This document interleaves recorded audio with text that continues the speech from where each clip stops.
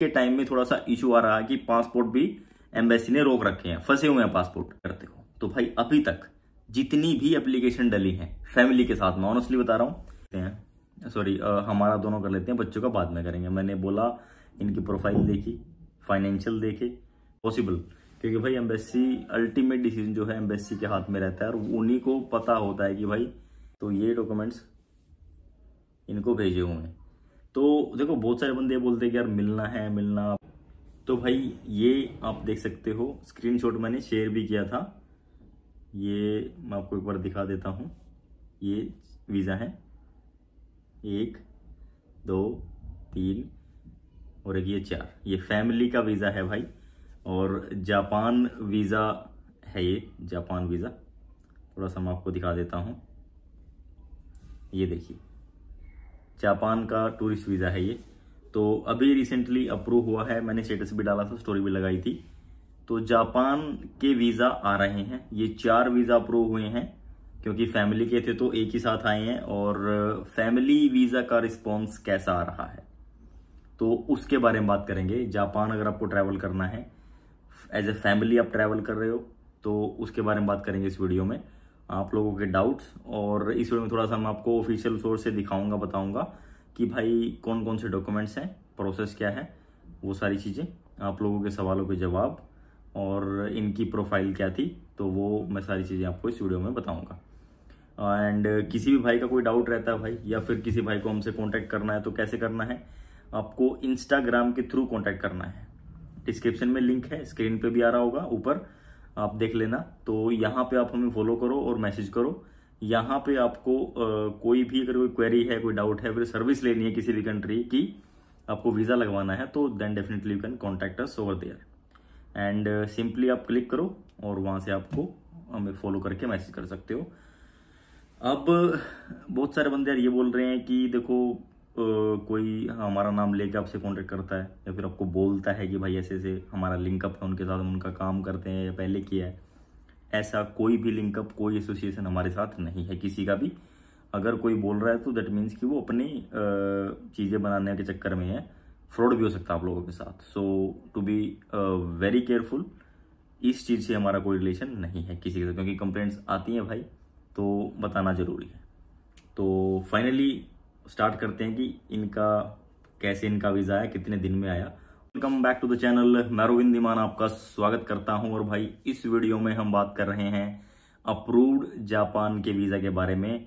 Family का ही visa आया है, चार बंदों का वीज़ा आया है एक साथ, और चारों का वीज़ा अप्रूव हुआ है। तो आप लोग अगर अप्लाई करना चाहते हैं, कितने दिन में वीज़ा मिल रहा है? क्या डॉक्यूमेंट्स हैं? प्रोसेस इसका क्या है? कैसे ये आप लोगों को करना है? मान लो कि आपने जापान का ट्रैवल प्लान कर लिया तो कैसे आपको ये वीज़ा मिलेगा? काफ़ी सारे सवाल हैं आप लोगों के। रिज़ल्ट कितने दिन में आ रहा है? सबमिशन के बाद कितने दिन में फ़ाइल कितने दिन में रेडी हो जाती है? और प्रोसेसिंग टाइम कितना है जापान का? तो वो सारी चीज़ें मैं आपको बताऊँगा। इन रियलिटी क्या है और ऑफिशियल सोर्स से वो क्या बताते हैं। तो वो सारी चीज़ें हम डिस्कस करेंगे। इंपॉर्टेंट वीडियो है भाई, काफ़ी काफ़ी कुछ इसमें आपको सीखने को मिलेगा। एंड काफ़ी नॉलेज भी मिलेगी आपको। तो पहले तो मैं आपको थोड़ा सा एक बार ये दिखा देता हूँ। ये देखिए, अगर आपको ये दिख रहा है तो ये हाँ अब ये आपको दिखा। तो ये जो स्क्रीनशॉट है, यहाँ पे देख सकते कि 22 सितंबर, यानी कि 24 की डेट तारीख तो 22 सितंबर को इनका सबमिशन हो गया था। और रिज़ल्ट इनका जो है, आज है, देखो, अगर मैं बात करूँ तो 11 तारीख। तो ऑलमोस्ट ऑलमोस्ट भाई 19 या 20 दिन लगा लो कि इनका वीज़ा आ गया। सो so, जो नॉर्मल प्रोसेसिंग टाइम आप लोग पूछते हो कितना है जापान के लिए तो भाई वो है ऑलमोस्ट फिफ्टीन वर्किंग डेज़ ये बोलते हैं। अभी मैं आपको दिखाऊँगा अभी ठीक है? स्क्रीन पे दिखाऊँगा लाइव फिफ्टीन वर्किंग डेज़ ये बोलते हैं। उसका मतलब क्या है कि एटलीस्ट आप 20 टू 25 डेज़ लेके चलना अगर आपका प्लान है कि भाई आप जापान को आपको ट्रैवल करना है आपने पासपोर्ट दे दिया। अभी के टाइम में थोड़ा सा इशू आ रहा है कि पासपोर्ट भी एम्बेसी ने रोक रखे हैं, फंसे हुए हैं पासपोर्ट। कि एक बंदे को अपना एक क्लाइंट था, उनको अभी वीज़ा बेचारे को मिला नहीं, उनका जो ट्रैवल डेट है वो भी एक्सपायर हो गई। और स्टिल कोई एम्बेसी रिस्पॉन्स नहीं दे रही है। मेल भी कर लिया है उनको, ठीक है? तो इसका भी मैं सोल्यूशन आपको एंड में बता दूँगा। तो अगर आप एज ए फैमिली अप्लाई करते हो तो भाई अभी तक जितनी भी एप्लीकेशन डली हैं फैमिली के साथ, मैं ऑनेस्टली बता रहा हूँ, एक भी रिफ्यूज नहीं हुई।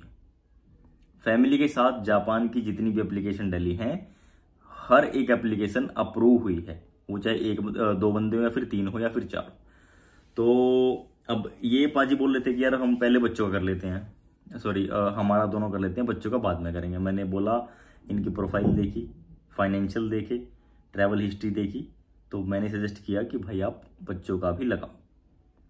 तो मुझे लगा कि हाँ चांसेस हैं।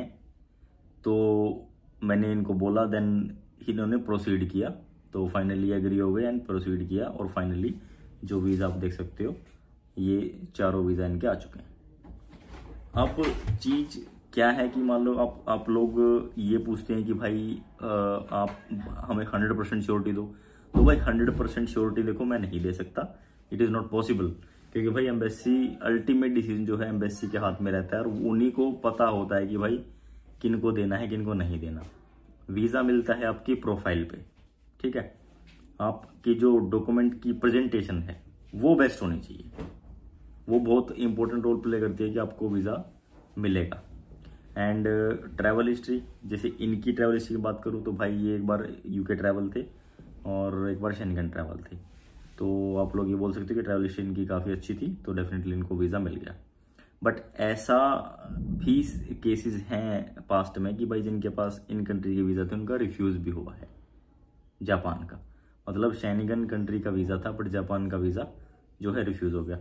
तो ऐसे केसेस भी हैं, वो पंजाब से थे और इनका पासपोर्ट है हरियाणा। तो ये डिफरेंस है और ये ये हो भी सकता है, कोई ऐसा हंड्रेड परसेंट नहीं है कि भाई हाँ कि अगर आपके पास ये आपकी प्रोफ़ाइल है तो मिल ही जाएगा। ऐसा भी नहीं होता, बहुत सारे केसेस है, क्योंकि सामने नहीं आते तो पता नहीं चलता। अब आप इतनी चीज़ कर लेने के बाद आपको पता चलेगा कि हाँ तो डॉक्यूमेंट्स मेन आती है। और फाइनेंशियल भाई इनके फाइनेंशियल ठीक थे। सेवन लाख के आसपास बैलेंस था। आसपास का मतलब मैं कहता हूँ कि भाई दस बीस हज़ार ऊपर नीचे हो जाता है तो वो कोई मैटर नहीं है। इसका मतलब यही रहता है, ठीक है? एंड दूसरी चीज़ ट्रैवल हिस्ट्री मैंने आपको बता दी।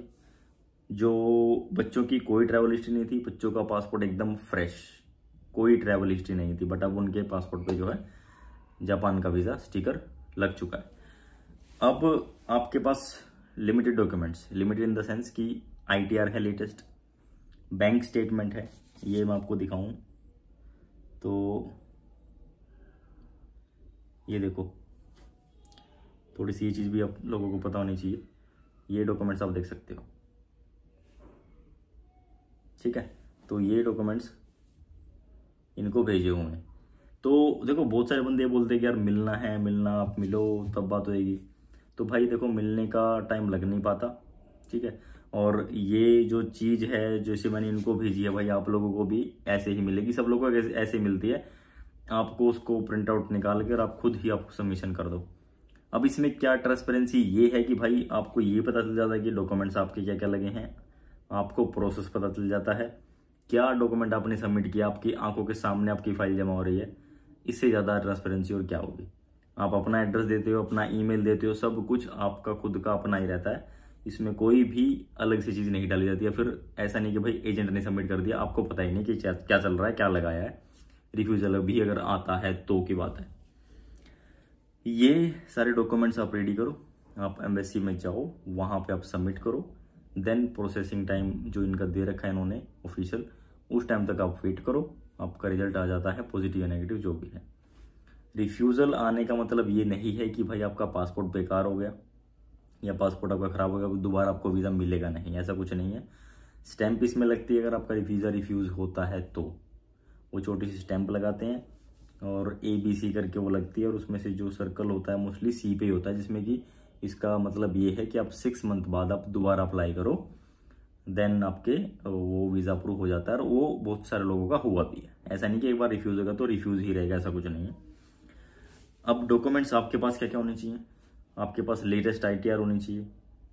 आपके पास कोई बिज़नेस प्रूफ है, जैसे कोई जीएसटी है एमएसएमई है और ट्रेड लाइसेंस है या कोई स्टेट वाइज लाइसेंस होते हैं शोप एक्ट है। तो वो सारे लाइसेंस वगैरह, फिर डॉक्यूमेंट्स वगैरह इसमें as a business proof consider होते हैं। सिर्फ़ और सिर्फ़ अगर एम एस एमएसएमई आपके पास है, उद्यम रजिस्ट्रेशन भी है तो उसके बेस पे भी आप वीज़ा अप्लाई कर सकते हो विदाउट एनी प्रॉब्लम ये सारी डॉक्यूमेंट्स हो गए बैंक स्टेटमेंट बिज़नेस प्रूफ और आपकी आई टी आर लेटेस्ट सिर्फ़ ये डॉक्यूमेंट्स हैं। उसके अलावा आपके फाइनेंशियल अच्छे हैं। चार से पाँच लाख रुपए आपके अकाउंट में पड़े हुए हैं मेंटेन हैं। पड़े हुए हैं मेंटेन है वो। तो अच्छे हैं। कोई ट्रैवल हिस्ट्री है आपकी एक दो कंट्री के देखो जिसकी एक दो कंट्री के उसके भी आए हैं, जिनकी अच्छी है, उनके भी आए हैं, जिनकी लो है, उनके भी आए हैं। जो जापान का जो सक्सेस रेशो है, अभी के टाइम में बेटर है। मैं बोलूँ कि seventy to seventy five percent ratio भी है, जिसके वीज़ा आ रहे हैं। देखो, अभी मैंने आपको केस बताया था कि जो पाजी हैं, उनका वीज़ा नहीं आया। तो उनका वीज़ा क्यों नहीं आया? देखो, अभी रीज़न तो कुछ पता नहीं है, और ऑलमोस्ट थर्टी डेज़ से ज़्यादा वो क्रॉस कर चुके हैं। अब उसका सोल्यूशन मैंने बोला था कि मैं आपको बताऊँगा, अगर आप भी इस चक्कर में फंसे हुए हैं, आपका वीज़ा नहीं आया है तो आप लोग भी एम्बेसी को एक जो मेल होता है कि भाई ऐसे ऐसे ये मेरा पासपोर्ट नंबर है, मैंने एक एप्लीकेशन डाली थी, ये मेरा एप्लीकेशन नंबर है, उस एप्लीकेशन नंबर के भी आप पे वीज़ा दिन दिन में आना था, अभी तक नहीं आया, मेरा ट्रैवल प्लान ये था या फिर ये एक्सपायर हो गया है, वो सारी चीज़ें प्रॉपर आप एक लेटर बनाओ, वो लेटर आप एम्बेसी को पोस्ट करो। में ईमेल नहीं करना है, ऑफलाइन ये पोस्ट करना है। जैसे चिट्ठी जाती थी ना, ऐसे आपको पोस्ट करना है एम्बेसी को। जैसे आप कर दोगे तो within very short time आपको रिज़ल्ट आ जाएगा। तो पॉजिटिव या नेगेटिव जो भी होगा, वो आप शेयर कर सकते हैं। फिर इस वीडियो के नीचे कमेंट भी कर सकते हैं कितने दिन में आपका वीज़ा मिला और कितने दिन में आपका रिज़ल्ट आया और क्या आया। तो ये भी आप बताओ, थोड़ा सा लोगों को ऊपर भी पता चलेगा कि यार कैसे क्या चल रहा है जापान का जो प्रोसेस के रिगार्डिंग तो अब मैं थोड़ा सा आपको स्क्रीन पे लेके चलता हूँ, वहाँ पे मैं आपको दिखा देता हूँ एक बार कि क्या क्या डॉक्यूमेंट्स हैं और इसका लेटेस्ट प्रोसेस जो उन्होंने क्या बता रखा एक्चुअल में क्या है, वो मैंने आपको बता ही दिया। ठीक है? तो कोई डाउट रहता आप लोगों का भाई, आप इंस्टा पे फॉलो करो मैसेज करो, वहाँ पे आपको रिप्लाई मिल जाएगा। सर्विस आपको लेनी है, आपको जापान का वीज़ा लगवाना है कंप्लीट फाइलिंग करानी है तो उसके लिए भी आपको इंस्टाग्राम पे कॉन्टैक्ट करना पड़ेगा।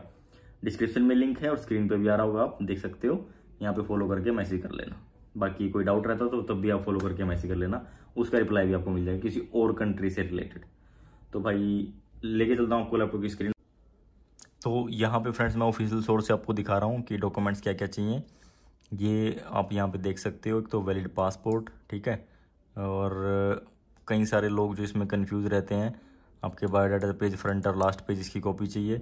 ठीक है, और आपका कंप्लीट वीज़ा एप्लीकेशन फॉर्म चाहिए। अच्छे से कंप्लीट डिटेल करेक्ट इन्फॉर्मेशन एक फ़ोटो में बहुत बंदे कन्फ्यूज़ रहते हैं कि भाई इसका साइज़ क्या है। तो भाई टू बाई टू का साइज़ है। टू बाई टू वहाँ पे थ्री फाइव फोर फाइव लिखा हुआ है बट उसको आप मत लेने के जाना। कि आपको, नहीं तो आपको दोबारा करवाना पड़ता है। कवर लेटर सबसे इम्पोर्टेंट है। डॉक्यूमेंट्स टू ये आपका जो फ़्लाइट हो गई, आना और जाना ट्रैवल आइटनरी हो गई लेटेस्ट आईटीआर अगर ये भी आपके पास नहीं है तो सिक्स मंथ की स्टेटमेंट आप लगा सकते हो। अगर आईटीआर आपके पास नहीं है तो। अगर आप स्टूडेंट हैं या फिर डिपेंडेंट हैं तो कंसेंट लगेगा पेरेंट्स से और आपकी लेटेस्ट आईटीआर उनकी लगेगी। तो ये सारे डॉक्यूमेंट्स हैं भाई। अगर आप मैरिड हैं तो प्रूफ ऑफ़ रिलेशन वो मैरिज सर्टिफिकेट या फिर पासपोर्ट में आप दोनों के नाम हो तो वो चल जाता है एक्सेप्टेबल है। सबसे ज़्यादा पूछे जाने वाला सवाल कि भाई कितना टाइम लेती है एम्बेसी इन्होंने क्या लिख रखा? आप देखो New Delhi for the processing of each application is minimum five working days minimum पाँच दिन बोला इन्होंने भाई। ऐसा कुछ भी नहीं है, ये कम्प्लीटली इन्होंने ऐसे लिख रखा है, जो एक्चुअल रियलिटी है भाई। बीस दिन के आसपास तो लग ही रहे हैं, पंद्रह से बीस दिन डेफिनेटली लग रहे हैं वीज़ा आने में। तो थोड़ा सा सोच समझ के प्लान करना, क्योंकि हो सकता है कि आपका जो प्लान है वो वो थोड़ा सा डिले हो गया आपका पासपोर्ट रिज़ल्ट आने में तो आपका प्लान सारा वो चौपट हो जाएगा। और कोई भी बंदा भाई फ़्लाइट वाइट बुक ना करे, जब आपका वीज़ा है तो आप फ़्लाइट बुक करो, तब आप प्रोसीड करो। होपफुली ये वीडियो आपको अच्छी लगी होगी भाई, और इसमें कोई डाउट रहता है, कोई क्वेश्चन रहता है तो फॉलो करके मैसेज कर लेना। मिलेंगे आपसे नेक्स्ट वीडियो में till then take care thank you so much for watching have a great day